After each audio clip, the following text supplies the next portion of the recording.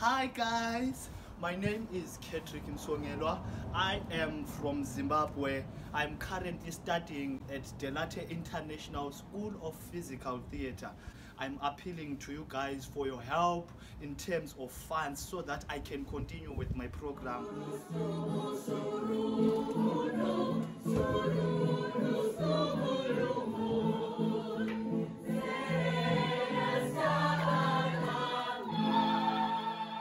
I'm Joan Schirle. I'm on the faculty and I'm the founding artistic director of Dell'Arte.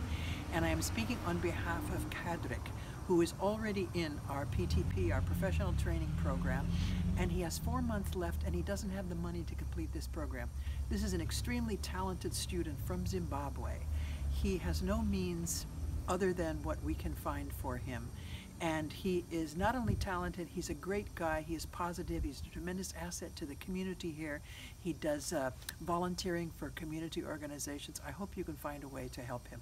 Hi, my name is Gabe McKinney. I'm a faculty member here at Dell'Arte. Uh, we love having Khekhe here.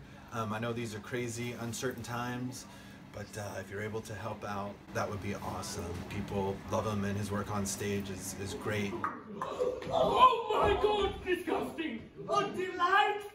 Khekhe mm. is really the most positive person I have ever seen. loyal and committed friend, great ensemble member. astounding physical theater artist. Always motivates me with great enthusiasm for theater. He's ambitious and hardworking and so devoted. If Khekhe can't do this program, if he can't finish his work here, it would just be a tragedy and a kind of artist the world really needs right now. So there's only one good answer, one choice, and it's to help him complete his work here. This video and this project is a uh, it has been taken on by his classmates, and I think that's a testament to how respected and loved he is as a class member. Should we say just Khekhe? Or Kendrick. Or friend? Because we're saying Our, our. Please support our friends! Every dollar counts. Any amount is welcome.